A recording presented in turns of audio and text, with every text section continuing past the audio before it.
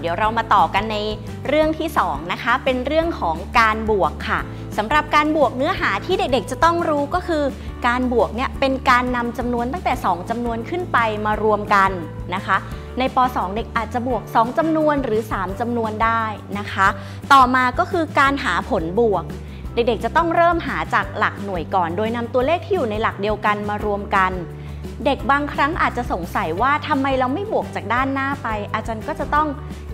ชี้แจงให้เขาเห็นว่า ในกรณีที่หลักหน่วยเราบวกแล้วมีตัวทด ก็จะทำให้ผลรวมในหลักสิบเนี่ยไม่ตรงกันกับการที่บวกจากด้านหน้ามานะคะ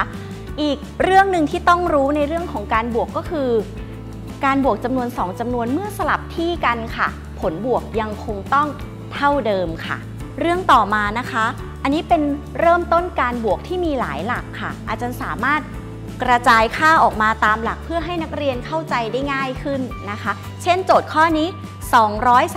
232 อาจารย์อาจจะให้เด็กเห็นก่อนก็ได้ว่า เกิดจาก 200 บวก 30 บวก 2 ตัวบวกเช่นเดียวกันค่ะ 300 บวก 20 บวก 5 จากนั้นจึงหาผลบวกในแต่ละหลัก หรือ ขียนแบบนี้ก็ได้ค่ะ หลักร้อย หลัก10หลักหน่วย ก่อนที่จะไปถึงวิธีการที่คิดโดยปกติที่เด็กๆใช้นะคะ โดยที่ไม่ต้องแยกให้เห็นค่าของแต่ละหลักแล้วสำหรับการบวกนะคะ เรามีตัวอย่างกิจกรรมนะคะ เป็นบันไดงูหันษาค่ะ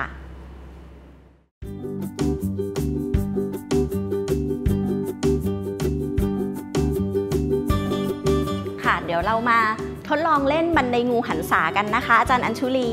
ค่ะ ก่อนอื่นที่เราจะเล่นบันไดงูหันษานะคะ วิธีการเล่นเหมือนกับการเล่นบันไดงูทั่ว ๆ ไปเลยค่ะ ก็คือเราจะต้องใช้อุปกรณ์อันแรกค่ะ ก็คือลูกเต๋าค่ะ วิธีการเล่นนะคะก็คือให้นักเรียนที่เป็นตัวแทนออกมาเล่นนะคะ โยนลูกเต๋าอย่างในกรณีนี้โยนได้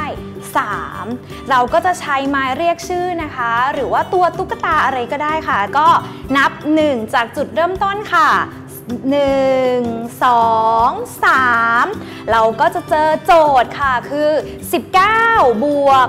13 เท่ากับเท่าไหร่ ทีนี้เมื่อเด็กที่ได้รับเลือกออกมาเล่นเกมแล้วอะค่ะ เขาจะต้องใช้ความคิดว่า 19 บวก 13 เท่ากับเท่าไหร่ แล้วจึงตอบคำถามในข้อนั้นๆนะคะ เมื่อตอบคำถามเสร็จแล้วค่ะแทนแทนเราก็จะมี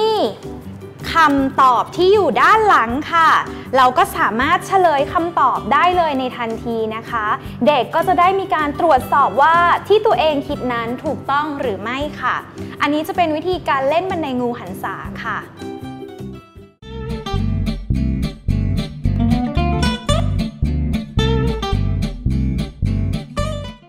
ค่ะ ก่อนที่เราจะไปดูขั้นตอนการทำนะคะ เรามาดูอุปกรณ์ในการทำก่อนดีกว่าค่ะ อันดับแรกค่ะก็คือ future board ขนาดประมาณ 25คูณ32 นิ้วจำนวน 1 แผ่นค่ะ 2 กระดาษการ์ดนะคะ เป็นกระดาษการ์ดสีค่ะ ขนาด A4 ประมาณ 3-4 สีจำนวนสีและประมาณ 9 แผ่นค่ะสำหรับทำช่องเดินทั้งหมด 36 ช่องค่ะ ใน 1 แผ่น A4 ขนาดใหญ่นะคะ ก็สามารถตัดได้ 4 แผ่นเล็กๆ ค่ะ โดยขนาดที่ตัดแผ่นเล็กๆ คือขนาด4คูณ5นิ้วดังรูปนี้นะคะ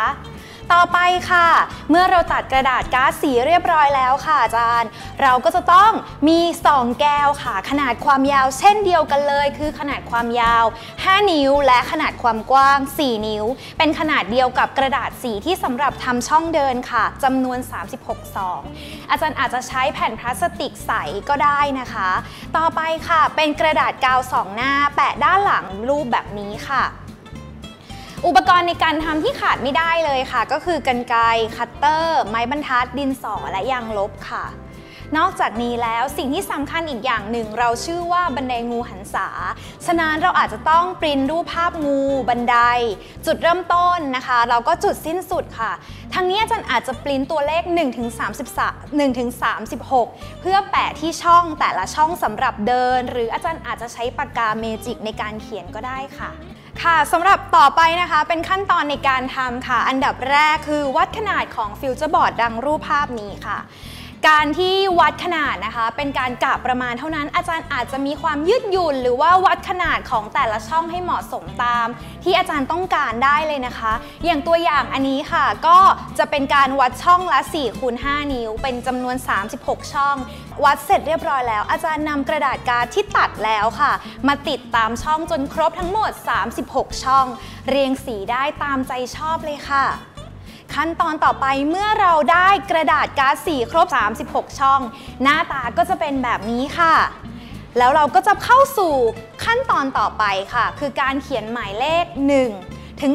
36 อาจารย์เขียนวนไปจนถึงจุดสิ้นสุดนะคะ และขั้นตอนต่อไปอาจารย์ติดภาพงู บันได จุดเริ่มต้นและจุดสิ้นสุดค่ะ เมื่อเสร็จขั้นตอนเหล่านี้ อาจารย์ก็จะต้องนำซองแก้วค่ะ ที่ได้ตัดเอาไว้แล้ว ซึ่งเป็นขนาดเดียวกับกระดาษก๊าซสี